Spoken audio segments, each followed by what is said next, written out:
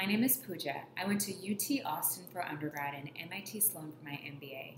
Jenny and I met in the Business Honors Program at UT Austin 14 years ago. My name is Jenny, and I went to UT Austin for undergrad as well. After UT Austin, I went to Wharton UPenn for my MBA. After grad school, I managed the luxury on sale division for Saks.com, a $25 million business unit. And what I noticed there was that inventory was still really, really hard to move, and this inventory pain point would apply to any luxury retailer, e commerce or brick and mortar. So, what is Muchness? Muchness is the first platform for all luxury fashion sales. It is like a kayak for high end shopping.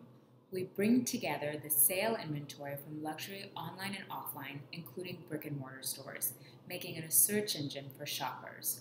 Our data into the website updates every hour, so there's always something fresh to look at, but we don't carry any physical inventory.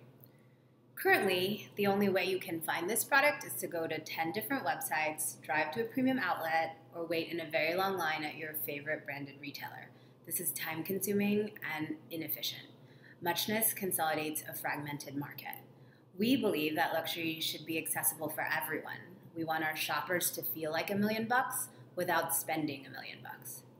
In terms of our track record over the last 12 months, on our working prototype, we've gone from zero to 200 store partners. Some of our content is exclusive.